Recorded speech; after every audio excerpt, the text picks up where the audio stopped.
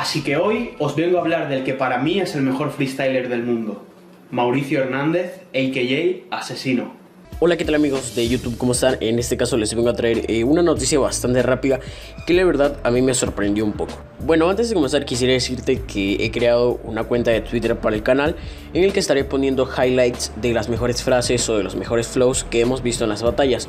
Por lo que si te interesa esto, te agradecería que eh, me siguieras en mi cuenta de Twitter, que te voy a dejar el link acá abajo en la descripción.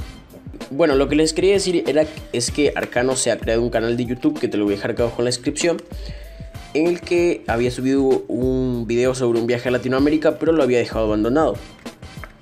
Al parecer, Arcano ha retomado este canal con un video bastante singular. El video se llama El mejor freestyler del mundo. En este video habla sobre de que muchas veces, por ejemplo en las batallas, cuando alguien gana, tiene que haber forzosamente un perdedor. Pero ¿por qué no debe haber un momento en el, que se gana sin tener que hacer que los demás pierdan? Explicado esto sobre las victorias y las derrotas, dijo que les venía a hablar sobre, para él, el mejor freestyler del mundo, Mauricio Hernández, a.k.a. Asesino.